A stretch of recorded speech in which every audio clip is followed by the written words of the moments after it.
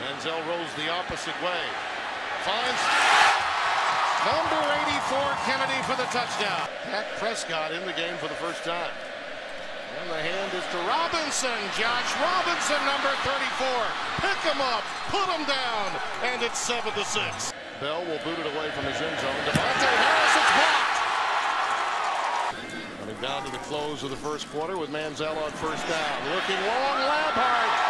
Touchdown. Empty backfield, watch his legs. Bingo. A jump pass, a la Tebow. Touchdown. Getaway sticks. Over the middle, Touchdown. Well, they haven't had much help from the offense when they have gotten There stopped. it is. Manziel flushed again. Finds his man at the 10. It's Kennedy again.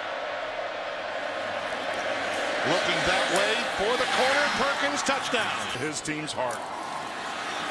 Trey Williams right through the middle. Touchdown. Josh Robinson is the lone setback.